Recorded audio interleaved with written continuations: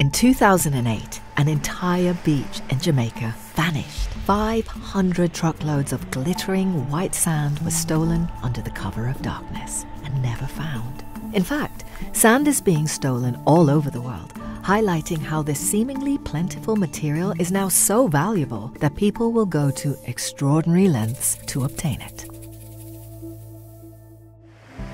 Sand isn't just the gritty granules that trap between your toes when you're at the beach. It's a mirror of the Earth's history that takes thousands, if not millions, of years to form. The colors of sand tell stories of landscapes long gone. On tropical beaches, sand gleams white, formed from the crushed skeletons of coral and marine life. Along volcanic shores, it turns black, from basalt born of molten lava. Red sands carry the tale of ancient iron rich rocks, oxidized over time. And it's not just what sand's made of, it's also what can live in it.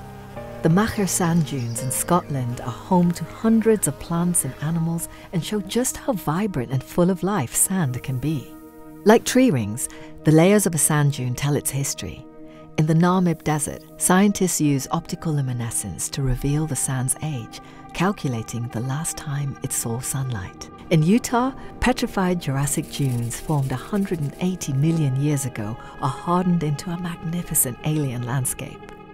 Sand exhibits mysterious and unusual physics. In the Sahara, singing sand dunes produce a haunting hum heard for kilometers. This phenomenon occurs when a disturbance, like a small avalanche, sets the dune vibrating like a plucked cello string. 28 million years ago, a meteor struck the Libyan desert sand, and out of the intense forces forged one of the rarest materials Libyan desert glass. So rare and prized, it sits in the center of Tutankhamun's breastplate, carved as a golden scarab. Sand's versatility as a building material was understood by the Romans. They figured out how to mix sand with lime and volcanic ash to create concrete, an invention that's literally stood the test of time. The Romans constructed vast networks of roads, aqueducts, and structures whose remains have survived for two millennia. The Pantheon in Rome has the world's largest unreinforced concrete dome. 4,000 years ago in ancient Mesopotamia, humans first crafted glass using a simple mixture of sand, lime, and soda, heated then rapidly cooled.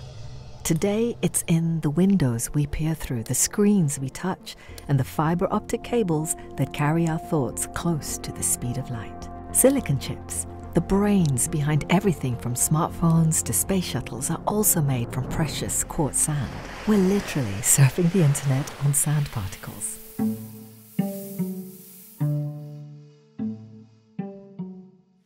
Hard to imagine our world running out of sand when we have deserts like the Sahara covering 8% of the planet and totaling over 9 million square kilometers. But desert sand, with its smooth, rounded grains shaped by wind, is useless in construction. It's like trying to build with marbles. Instead, the world's insatiable need for concrete buildings, bridges, and motorways demands sand from rivers and coastlines, which has angular grains that lock together like a jigsaw puzzle and this usable sand is running out. Mining sand from rivers and coastlines disrupts ecosystems and threatens species that depend on those sediments. Sand flows down rivers, protecting shorelines, builds deltas, and helps prevent flooding. When too much is taken, a chain reaction is set off, leading to severe floods and erosion, making us more vulnerable to nature's forces. And scarcity leads to crime. In parts of the world, so called sand mafias, illegal mining gangs, dredge for sand so intensely that it's causing riverbanks to collapse, destroying villages. Those who oppose them often face violent retaliation. Sand has become a commodity so valuable that people are willing to kill for it. Today, concrete is the most common building material on the planet. If it were a country, it would rank among the world's top carbon emitters. If we were to embrace more sustainable building practices based on local materials and conditions, sand could be preserved for essential purposes and protected from over extraction.